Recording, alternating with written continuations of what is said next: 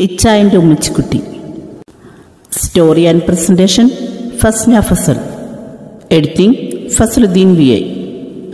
ഇച്ചായന്റെ ഉമ്മച്ചിക്കുട്ടി. ദിവസങ്ങൾ അങ്ങനെ കടന്നുപോയി. ആ ദിവസങ്ങളിലെല്ലാം ഞാൻ എന്റെ ഇക്കയുടെ സ്നേഹം ആവോളം അനുഭവിക്കുകയായിരുന്നു. മനസ്സുകൊണ്ട് ഞങ്ങൾ വളരെ ഗാഠമായി പ്രണയിച്ചു. ഉമ്മയുടെ സമീപനത്തിൽ വലിയ മാറ്റമൊന്നും ഉണ്ടായില്ലെങ്കിലും അതെനിക്കൊരു വിഷയമേ ആയിരുന്നില്ല. കാരണം ഉമ്മ എനിക്ക് നിരസിച്ച സ്നേഹം കൂടി ഇക്ക എനിക്ക് തരുന്നുണ്ടായിരുന്നു. ഈ ഭാഗ്യം കെട്ട ജന്മത്തിന് അത്രയധികം സന്തോഷം വിധിച്ചിട്ടില്ലല്ലോ. അങ്ങനെ ഒരു ദിവസം രാത്രി ജോലിയൊക്കെ കഴിഞ്ഞ് ഒന്ന് ഫ്രഷായി കിടക്കാമെന്ന് കരുതി റൂമിലേക്ക് വന്നപ്പോൾ ഇക്ക പിറകിലൂടെ വന്ന് എന്നെ പൊക്കിയെടുത്ത് വട്ടം കറക്കി. ഇക്ക എന്തേ കാണിക്കുന്നേ? എന്നെ നിരത്ത് നിർത്തിക്കുന്നു. ഞാനേ അഞ്ചാറ് ദിവസമായി നിന്റെ പുറകെ നടക്കാൻ തുടങ്ങിയിട്ട്. അതിന് ഞാൻ എന്ത് ചെയ്യാനാ? എനിക്ക് ഇപ്പോഴും വയ്യാത്തോണ്ടല്ലേ? പിന്നെ എങ്ങനെയാണ് ഇന്ന് രാത്രി നീ ഈശാനുസ്കരിച്ചേ ഞാനോ? എപ്പോ? ഇക്കാക്ക് തോന്നിയതായിരിക്കും. ഇക്ക എന്നെ ഇക്കയുടെ നേർക്ക് തിരിച്ചു നിർത്തി. എന്തിനായിരുന്നു എന്നോട് കള്ളം പറയുന്നത് നിനക്കിപ്പോഴും എന്നെ അംഗീകരിക്കാൻ കഴിയുന്നില്ലെങ്കിൽ ഞാൻ പിന്നെ നിർബന്ധിക്കില്ല. അതിന് ഇനി കള്ളം പറഞ്ഞ് ബുദ്ധിമുട്ടണ്ട. ഞാൻ കാണിക്കുന്ന സ്നേഹമൊക്കെ കള്ളത്തരാണെന്നാണോ നിനക്ക് തോന്നിയിരിക്കുന്നത് ഇക്ക ഞാൻ വേണ്ടായിരുന്നു. സോറി നീ കിടന്നു. കിടക്കാനായിപ്പോയ ഇക്കയുടെ കയ്യിൽ ഞാൻ കയറി പിടിച്ചു. ഇക്ക എന്തിനായിരുന്നു നീ കരയുന്നത് ഞാൻ വെറുതെ പറഞ്ഞതല്ല. ഞാൻ നിന്നെ ഒന്നിനും നിർബന്ധിക്കില്ല. സത്യം. എനിക്ക് ഒരു ദേഷ്യമില്ലെന്ന് മാത്രമല്ല ഒരുപാട് ഇഷ്ടമാണ്. ഇക്കയുടെ കൂടെ ജീവിച്ചു തുടങ്ങാൻ എനിക്കും ആഗ്രഹമുണ്ട്. പക്ഷേ എനിക്കിതൊക്കെ പറയാൻ ഭയങ്കര നാണോ. അതാ. അച്ചോടാ ഇക്കാന്റെ മുത്തിന് നാണായിട്ടാണോ? ആദിക്കാക്ക് അറിയുന്നുണ്ടോ നാണം കൂടിക്കൂടി വന്നപ്പോൾ പെണ്ണിന്റെ മൊഞ്ച് ഒന്നും കൂടി കൂടിയിട്ടുണ്ടല്ലോ. ഒന്ന് പോയിക്കാം. ആ ഇന്ന് ഞാനൊരു കലക്ക് കലക്കും. പടച്ചവനെ ഒന്ന് മിന്നിച്ചേക്കണേ. ആ സമയം ഫോൺ ബെല്ലടിക്കുന്നത് കേട്ട് ദയനീയമായി ഞാൻ ഇക്കയെ നോക്കി. ഇക്ക എന്നെ പടച്ചോനെ എന്തൊരു വിധിയാ ഇത്. വന്ന് വന്ന് ഫോണിലൂടെ ആയോ? ഇക്ക വേഗം ഫോൺ എടുത്തു ഓ മാമാക്കൊന്നും രാത്രി ഉറക്കമില്ലേ? എല്ലാം കൂടെ എന്റെ നെഞ്ചത്തേക്കാണല്ലോ. ഇക്ക വേഗം ഫോൺ എടുത്തു ഹലോ മാമ എന്താ ഈ രാത്രി? അത്യാവശ്യം എന്തെങ്കിലും ഉണ്ടോ? എന്നെ നോക്കി ചിരിച്ചുകൊണ്ടിരുന്ന ഇക്കയുടെ മുഖം മാറുന്നതും കണ്ണുകൾ നിറയുന്നതും ഞാൻ കണ്ടു. എനിക്കെന്തോ അരുതാത്തത് വരാൻ പോണ പോലെ. ഇക്ക ഒന്നും മിണ്ടി കേൾക്കുന്നില്ല. എന്താണാവോ? അവസാനം ഇക്കയുടെ വായിൽ നിന്നും കേട്ട വാക്കുകൾ. കോൾ കട്ടായി. ഇക്ക കട്ടിലിൽ പോയി തലയ്ക്ക് കൈയും കൊടുത്തിരിക്കുകയാണ് ഞാൻ വേഗം അടുത്ത് പോയിരുന്നു. ഇക്ക എന്താ ഇക്ക? ഇക്ക മിണ്ടുന്നില്ല. ഞാൻ കയ്യിൽ പിടിച്ചു കുലുക്കി ഇക്ക ഒന്ന് പറ. ഇങ്ങനെ മനുഷ്യനെ ആദ്യ കയറ്റാതെ. അതിനു ഡി അഷ്കർ. അഷ്കറിന് അവന് വൈകിട്ടൊരു ആക്സിഡന്റ് അതിൽ അപ്പോൾ തന്നെ അവൻ ഇക്ക പെട്ടെന്ന് എന്തോ ഓർമ്മ വന്ന പോലെ വേഗം എഴുന്നേറ്റു. ഇക്ക ഇക്ക പോവാണോ. ഞാനും വരാം. പാവം സുമി ഒറ്റയ്ക്കായിരിക്കില്ലേ? ഇക്ക ഞാനും കൂടി. എന്നാ വേഗം വാ. ഞങ്ങൾ വേഗം പോയി റെഡിയായി താഴേക്ക് വന്നു.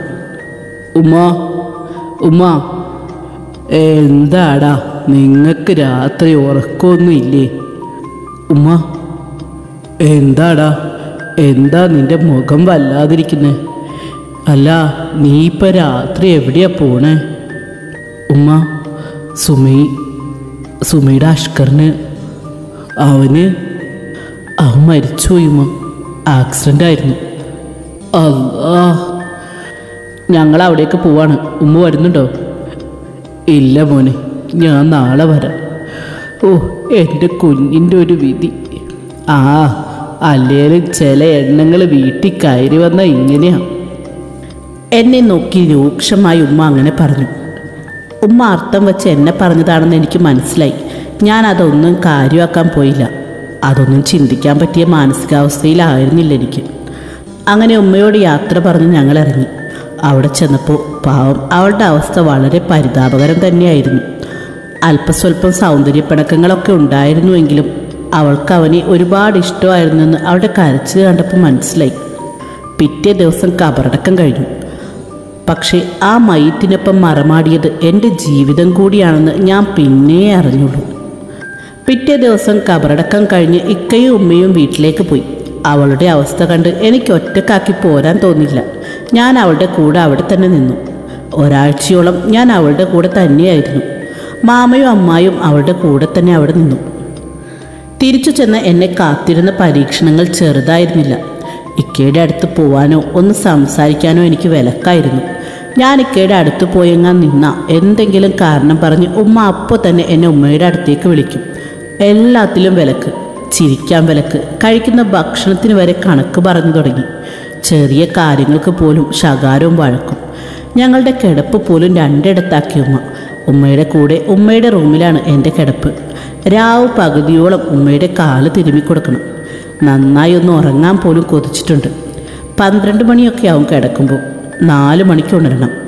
അങ്ങനെ അങ്ങനെ കുറേ പട്ടാളച്ചിട്ടകൾ ഇതൊക്കെയാണെങ്കിലും ഇക്ക ഉമ്മ കാണാതെ എന്റെ അരികിൽ വരും. എന്നെ ആശ്വസിപ്പിക്കും.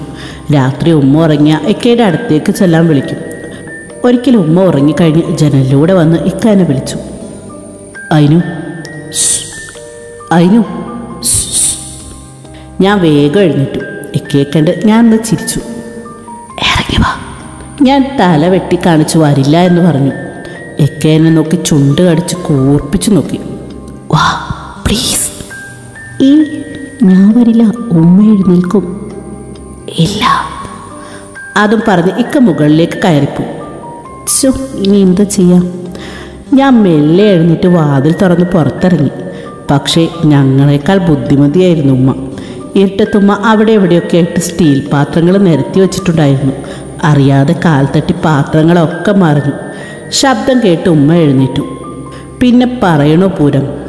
ഉമ്മ വേഗം എഴുന്നേറ്റു ഒന്ന് ലൈറ്റിട്ടു എവിടെ പോവാടി നീ നട്ടപ്പാതിരാക്ക്? നാശം പിടിച്ചവളെ. ആരാടി പുറത്തു വന്നിരിക്കുന്നത് ഉമ്മ. ഒച്ച കേട്ട് ഇക്ക വേഗം സ്റ്റെയർ ഇറങ്ങി വന്നു. എന്താ ഉമ്മ? എടാ സലീമേ നിന്റെ കെട്ടിയോൾ എന്നെ ഉറക്കിക്കെടുത്തി ആരെ കാണാൻ പോവാന്ന് ചോദിക്കുന്നു ഉമ്മ എന്തൊക്കെ ഈ പറയുന്നേ?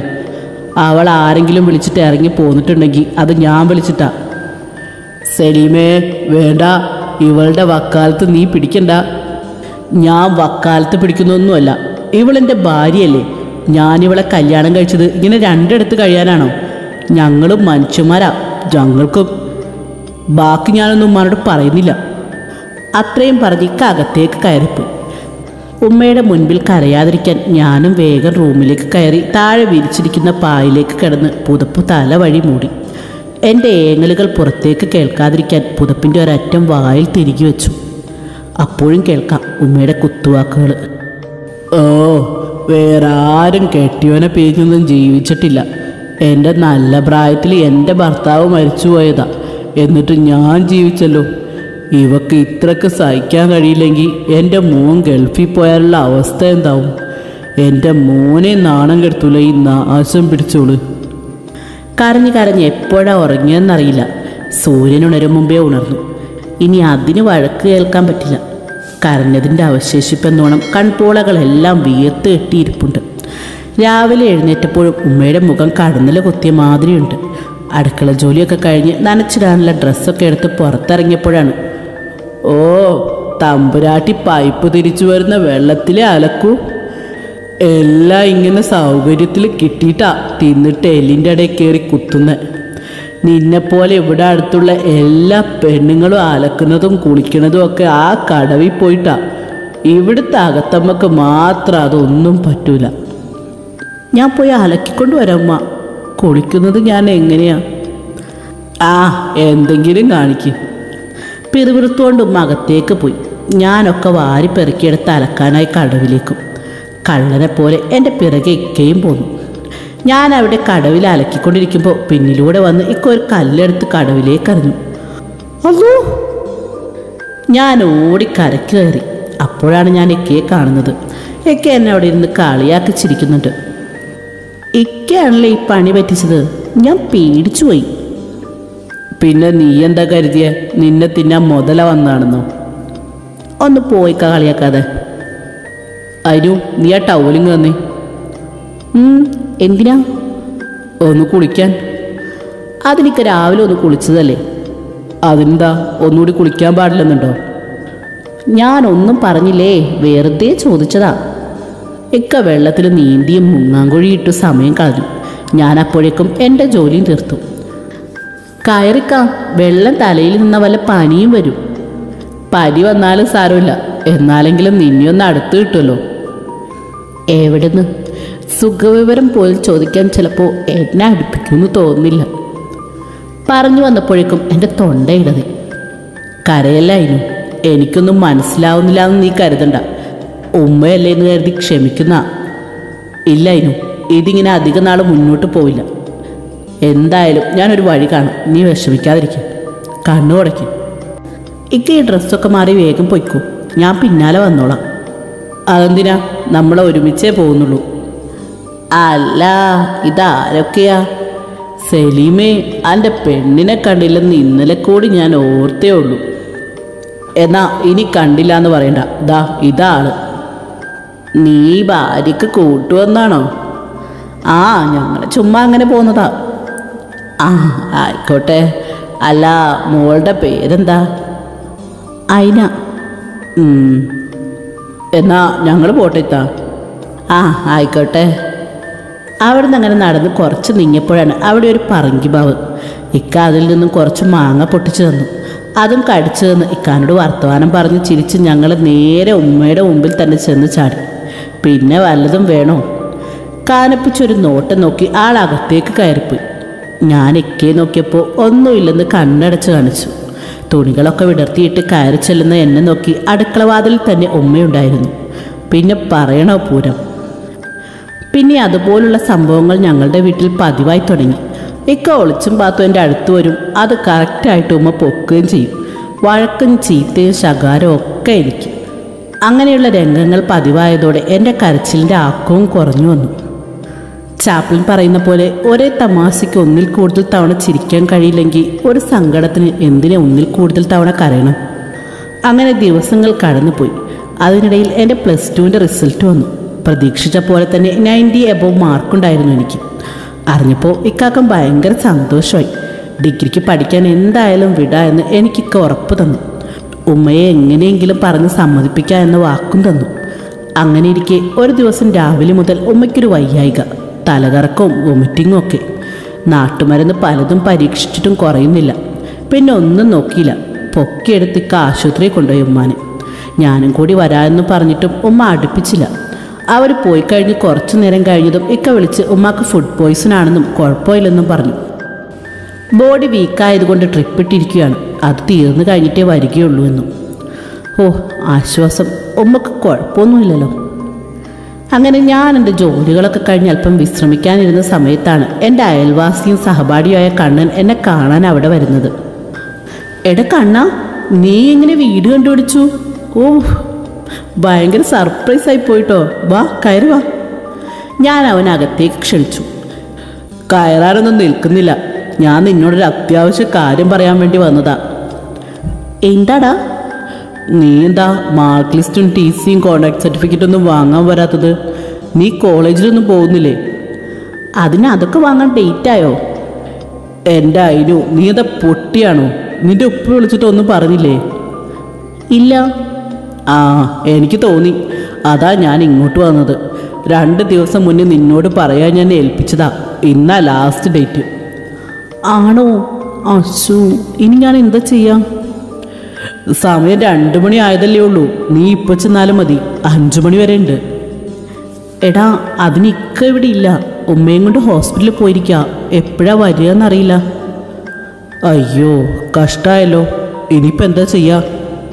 അറിയില്ല. ഞാനിപ്പോൾ ഇനി എന്താ ചെയ്യാ? ഞാനൊരു കാര്യം പറയാം. നീ എന്റെ കൂടെ വാ. സർട്ടിഫിക്കറ്റ് ഒക്കെ വാങ്ങി ഞാൻ തന്നെ നിന്നെ തിരികെ ഇവിടെ കൊണ്ടാക്കാം. അത് ഇക്കയോട് ചോദിക്കാതെ ഞാൻ എങ്ങനെയാ? എടി നീ ഒന്ന് വിളിച്ചു നോക്ക്. ഞാൻ വിളിച്ചു നോക്കി. ഹോസ്പിറ്റലിന്റെ അകത്തായതുകൊണ്ടാണെന്ന് തോന്നുന്നു. റേഞ്ച് കിട്ടുന്നില്ല. ഞാൻ ആ വിവരം അവനോട് പറഞ്ഞു. അവസാനം ഇക്കയെ വിളിച്ചിട്ട് കിട്ടാതായപ്പോൾ തൊട്ട അയൽവക്കത്തുള്ള റുക്കിയത്തയോട് പറഞ്ഞ് ഞാൻ ഇറങ്ങി കണ്ണന്റെ കൂടെ. തുടരും